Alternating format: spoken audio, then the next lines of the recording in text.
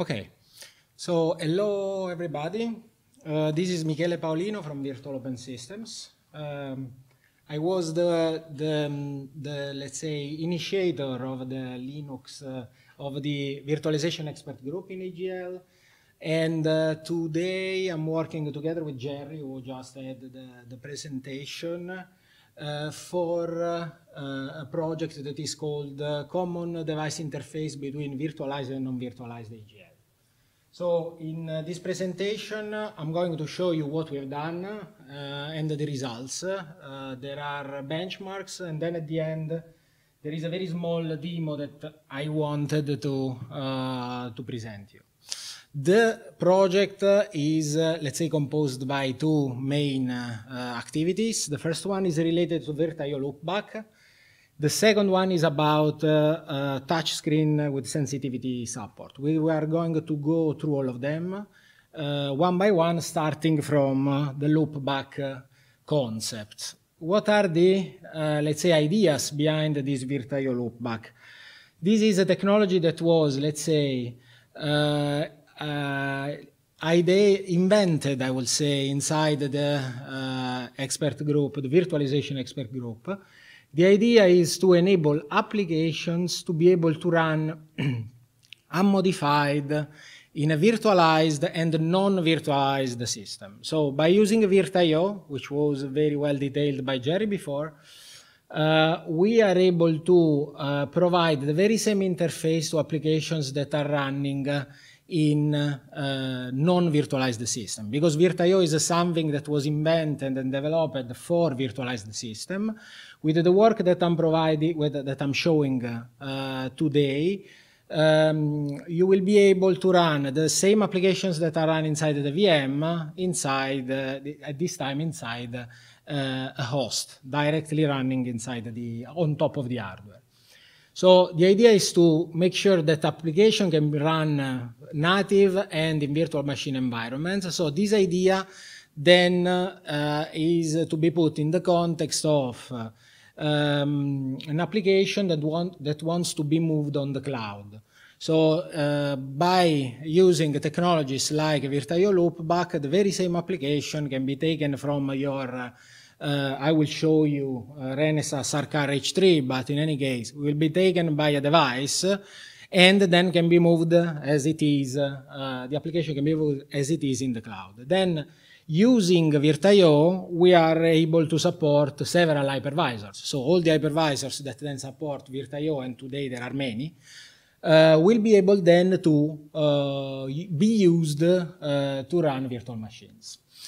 There is an additional, uh, let's say, uh, point, uh, which is about drivers. So uh, by using this technology, the drivers do not need to be specifically, uh, let's say, um, having in mind cloud or native images, because with this technology we can build a bridge between user space drivers that usually are used in virtualized environment and, and uh, non-virtualized application.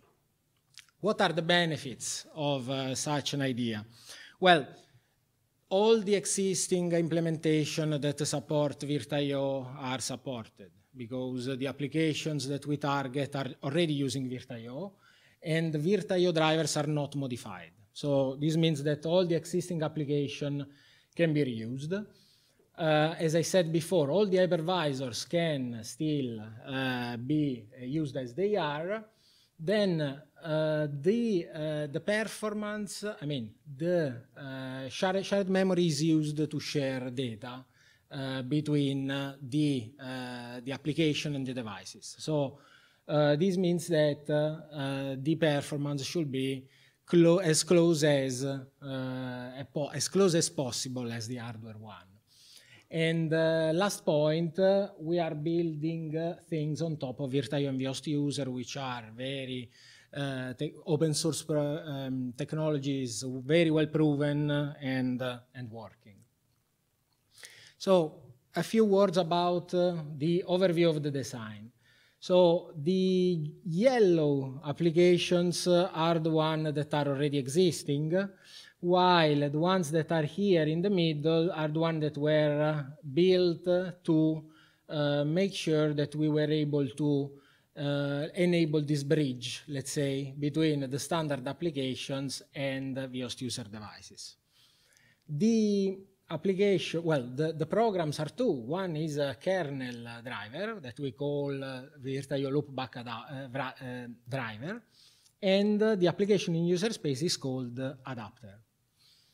Going more into the details, uh, the driver is, uh, is implementing the VirtIO transport layer, so the one that then uh, communicates with VirtIO bulk, VirtIO RNG, or VirtIO input, for instance, uh, while the application in user space is the one that implements the vHost user uh, protocol uh, that is, uh, let's say, the one uh, needed to talk with existing vHost user applications.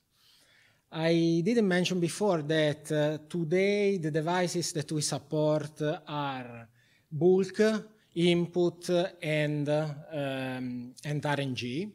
So today we support uh, the, the, the, execution of uh, uh, vHost user devices that are implementing bulk RNG and, uh, and input features. Uh, of course, in futures, uh, in future there is the possibility to add uh, to add more.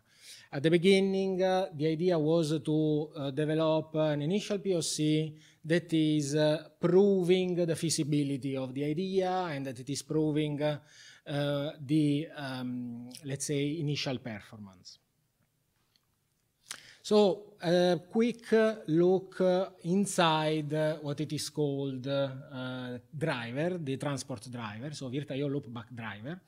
As you can see uh, in this picture, we are talking about a char device, so it exposes uh, an IOCTL, uh, let's say, interface to user space application.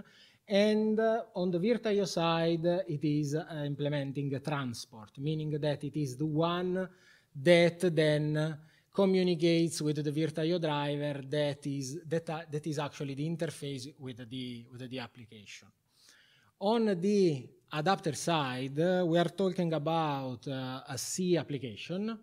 Uh, this is a C application because uh, most of the user, vHost user protocol was taken as it is from uh, existing implementation, uh, most notably by QEMU existing implementation. So um, the, the, the, the, application uh, is, talking, is opening a socket.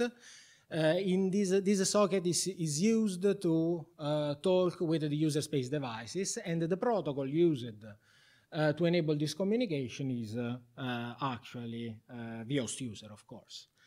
Uh, yes, then uh, syscalls, as I said, IOCTL, but also write and uh, eventfd are used to uh, do notifications between the between the different application. Um, now that we went through the, let's say, overall architecture, I will give you more detail about how it works. Mm, first, firstly, related to the uh, control plane, let's call it control plane. So what uh, it is uh, put in place to enable the initial communication. And second, the data plane, so the shared memory.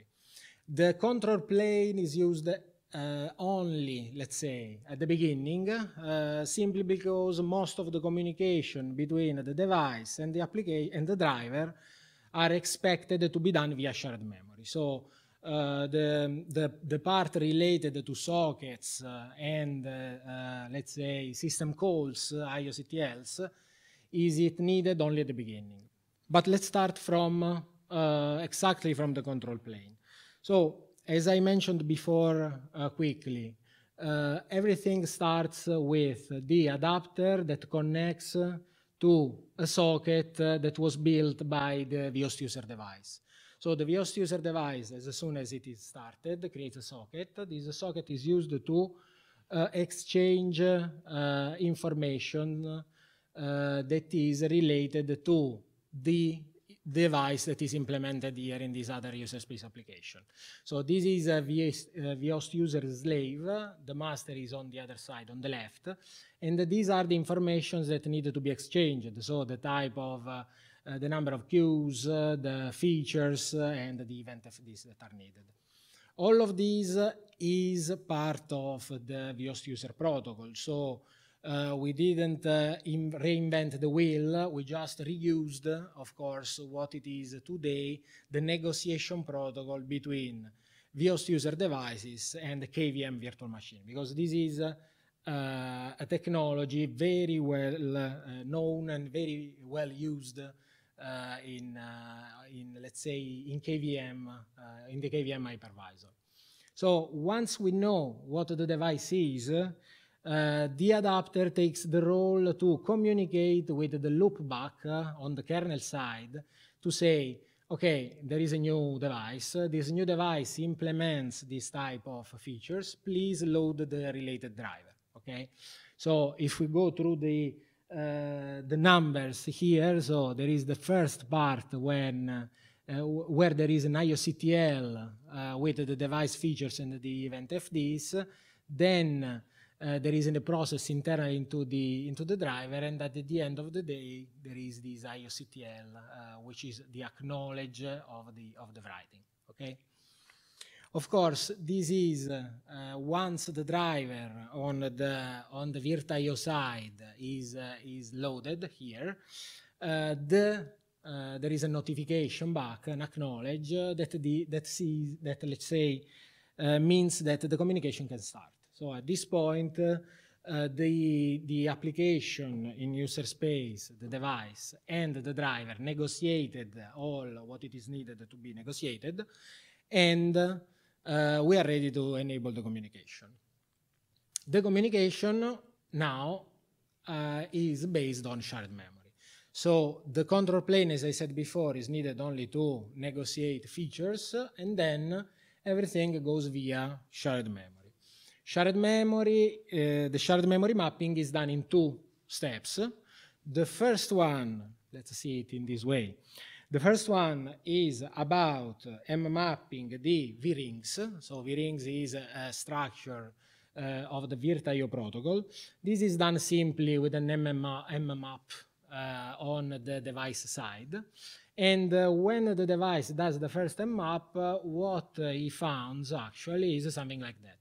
So uh, structure VRing that contains uh, several information. Uh, so what are the V-rings available? What are the ones used? Uh, but most importantly, at the beginning, what we need to know is what are the ones, uh, let's say, uh, what is the description of the of the of the data that we're going to have. Okay, so this description is, of course, described in a C structure.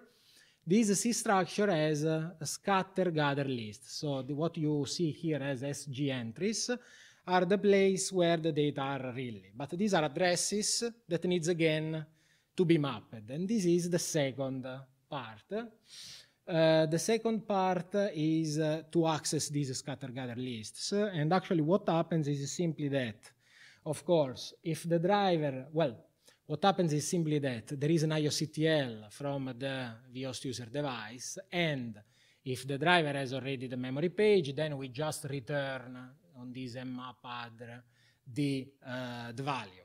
If this is not the case, what we need to do is to map the uh, related uh, SG entry, and only after having mapped it, we can finally access it. Uh, at this point, there is a shared memory between the two entities that can simply, using uh, uh, VirtIO, write and read uh, data from the, from the buffers. This is uh, being something, uh, let's say, based on shared memory. Um, it means that, of course, there is, I, I mean, there is high possibility that the overhead is low, you will see from the, from the benchmark that it is uh, actually uh, what it is happening. In fact, in these slides, uh, what we are resuming is how does it perform? So the question is, okay, this is how it works. we said already how it works. Now let's say uh, more or less how it performs. So we did two types of benchmarks. Uh, the first one was aiming at understanding the throughput of the uh, of the system, so how much data we are able to read and write. The second one is uh, uh, based on the latency. So we are adding multiple components into the path of the communication. Uh, how much does it cost having them into into the system? Okay, the throughput uh, benchmark is related, well, is done with BLK, so disks, uh, while latency uh, has been done with uh, input, okay? Let's talk about uh, disks first. So BLK. What we want to compare here is a system with VirtIO loopback with a virtual machine running KVM and QEMU that uses uh, vHost user BLK as it is. So the comparison is between uh, open source unmodified vHost user BLK and the component that we created that is called VirtIO Loopback. The um, benchmark that we have uh, used is a standard benchmark that can be simply downloaded and compiled. It is called FIO. And uh, the system is a modest uh, uh, 4 CPU with 4 gigabyte of RAM uh, and 80 uh, gigabyte of NV, NVMe uh, disk. This is an x86 system, uh, and of course, the VM is a 2 CPU with half the RAM and a VirtIO disk. So, in this slide, you can find the current performance. As you can see, for sequential write and mixed read write, we have we are less than 8% uh, than the performance, while we currently have uh, something to work on uh, on the read side. Uh, we know actually what is, uh, uh, what is the problem.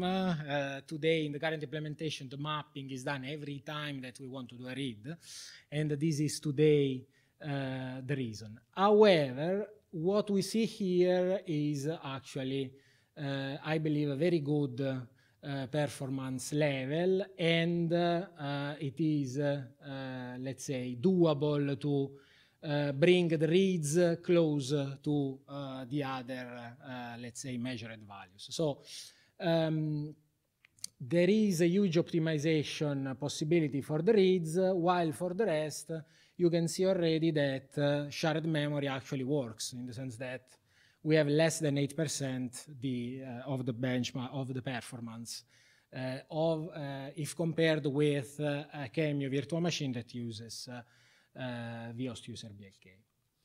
What about uh, latency? Then uh, for latency, we were not able, of course, to use an existing benchmark, so we had to develop our own. Uh, the used the tools are uinput and libevdev.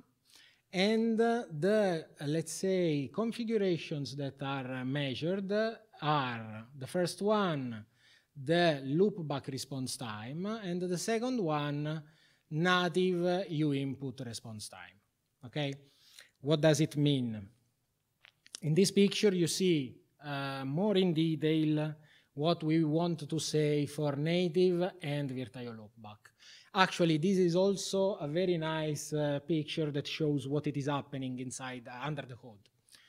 The native case is uh, the green path here, okay? While the red case is the VirtIO loopback overhead a standard input device to be used on a Linux system only need the, the green part, okay? While a vHost uh, VirtIO loopback device needs the green part and then the, uh, the red one. Simply because what we are doing is to take as a VirtIO loopback, uh, uh well, as it, uh, as it uh, vHost user input works, we have as an input an event that then is processed and sent to, to a listener. More in, uh, so actually, uh, so this means that from 1 to 5 is native performance, from 5 to 10 is only what we are adding. So it is not the uh, total, it is not the, let's say, raw performance of loopback, but it is just the additional overhead that we are adding, okay? If we want to go through the steps one by one, uh, we can say, for instance, we can see that, well, actually, the sender is an application that we have developed that sends uh, the, let's say, uh, that writes into input input goes to evdev that then in the native case goes uh, actually to the application that listens while in the host user case is taken in user space then handled by VirtIO and then from VirtIO goes into the listener okay? Of course as you can see there are more steps added into the picture. Here the point is that we are adding uh, portability. We are adding uh, an abstraction layer what are the numbers? The native case is around uh, 20 microseconds, while the overhead given by the uh, VirtIO uh, loopback is 0.8 milliseconds. Okay, uh, this is a number that might seem uh, again uh, something uh, big. However, um, yeah, there are a number of uh, compo components that were added inside the, inside the path. There is not yet uh, any performance optimization done. In any case, uh, we have to consider that standard Bluetooth mouse latency is around 10 milliseconds. So we are adding uh, for standard input devices uh, something that is less than 0. Dot, uh, less than 0.1 percent, less than 1 percent. Okay. So these are the uh, benchmarks. On uh, the results side, everything that uh, we have uh, developed is available on, uh, on a repository. I will show it later. The design was publicly uh, done inside DigiVirt. So it was something that was proposed by Virtual Open Systems and then discussed with the community. It is still available. Uh, you, of course, it is available on Confluence. You can have a look. The code uh, is available at this address.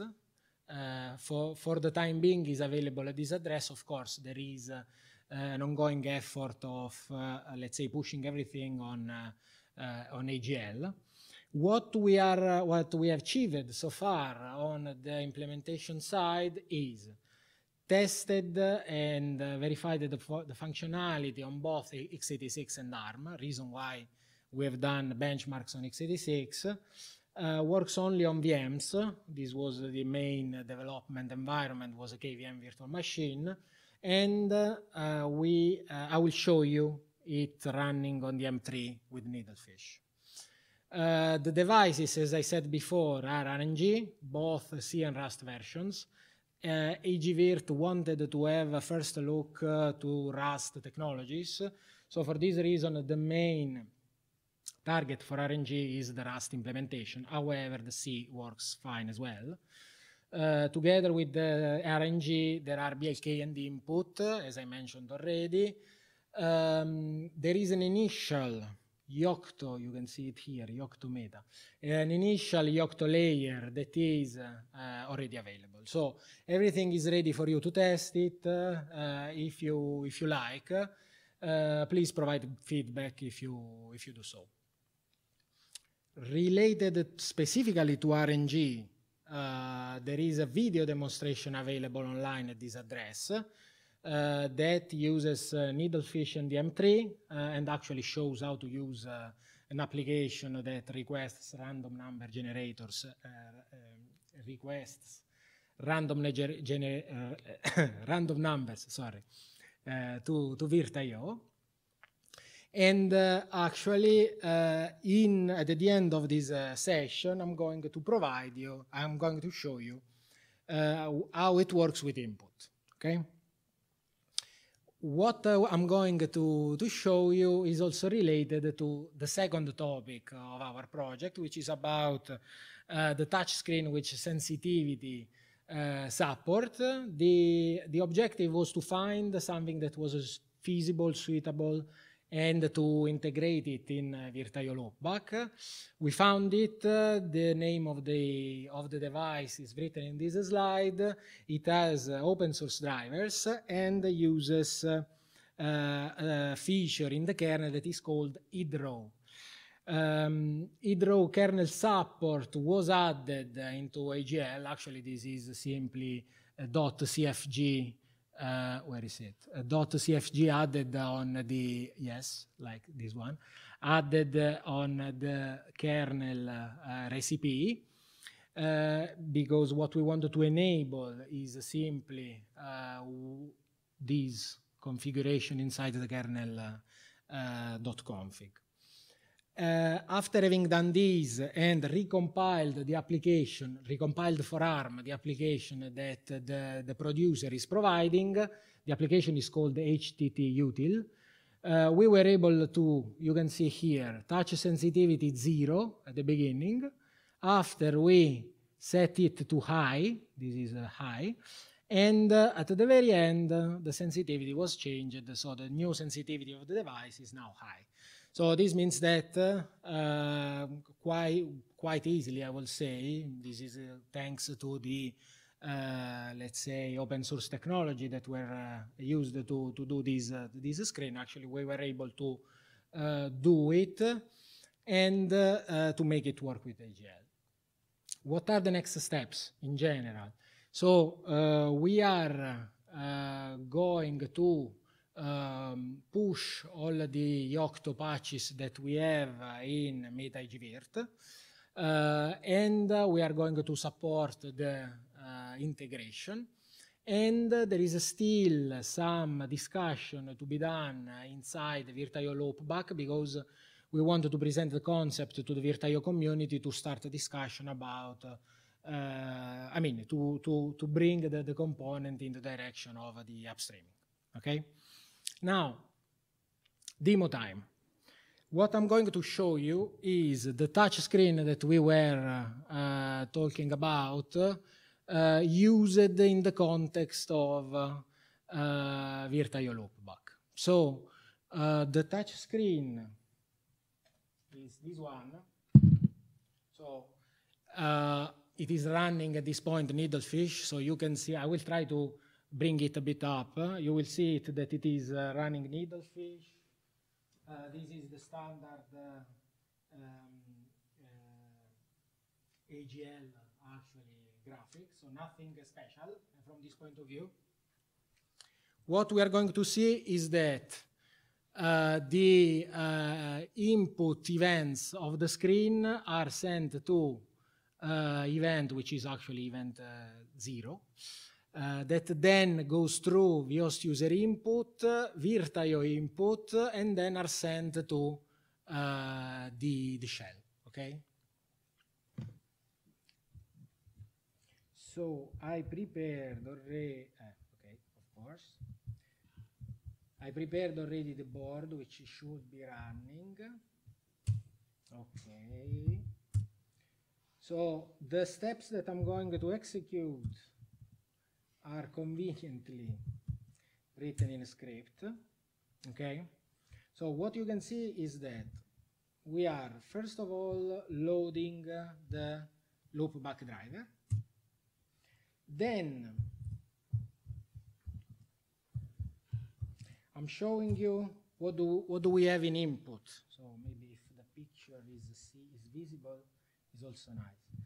So the picture here uh, well, actually, the picture here says that the uh, the touch screen is event one. Well, this was uh, this is something you can discover simply running the the dmesg. Uh, so we are here with input one. I'm now running the uh, VHost user input application. This is taken from uh, QEMU contrib uh, folder. This is a standard, uh, let's say, QEMU application to run this type of input devices. And at this point, I will run our adapter. Okay? as you can see, after I run the adapter, a new device uh, was discovered by the system as input 2. So basically what happened is that VirtIO loaded the new driver and actually uh, input uh, input one after input one we have also the, uh, the, the, the number two. At this point I can still use because I used no grab in the uh, in the vHost when I when I run the vHost user device, but we can also see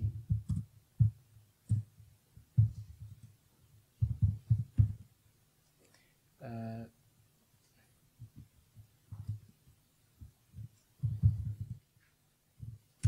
we can also see that events go through, uh, well, of course, this, this, this is not very uh, liked by the serial interface. Event goes through uh, the, the, the, shell and breaks my serial uh, connection. So this is uh, part of the demo. Um, so of course the system now is still uh, is still running if I rerun it, and but actually what it is nice to see is that uh, the technology that we developed uh, was uh, is uh, let's say uh, generic enough to run also uh, devices that we didn't change that we didn't need to change any any component.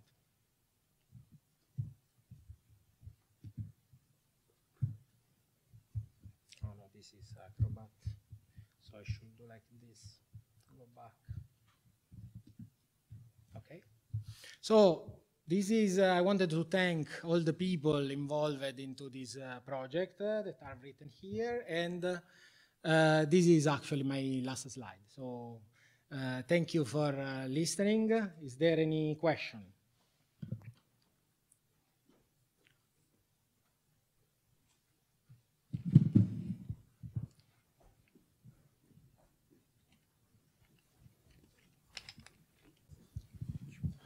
Uh, so you mentioned the future of, of this work as first going through the integration uh, with Yocto, then going uh, upstream, discussing with the VirtIO community. Shouldn't that be the reverse? First kernel, then going yeah, to Yocto? this should be the reverse. But the, the, the thing is that uh, this is a POC in the sense that uh, this is not something that is already uh, perfect.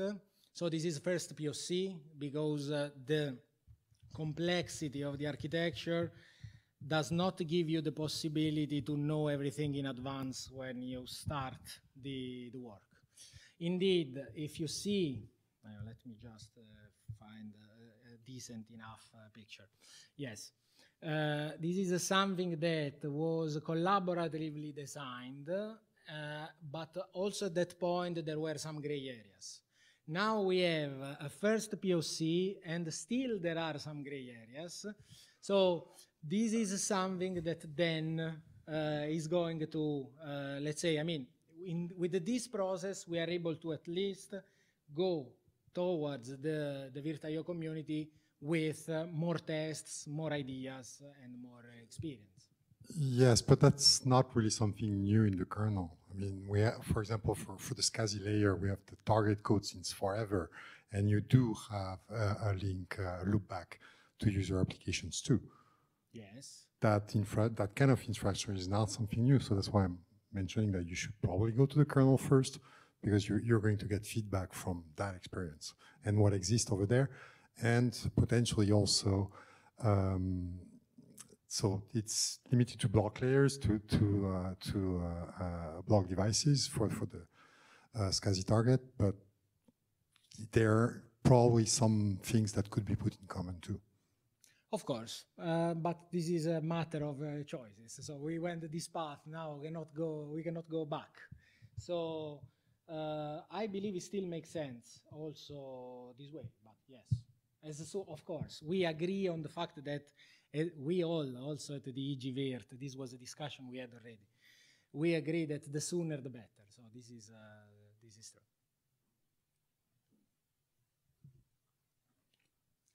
Other questions?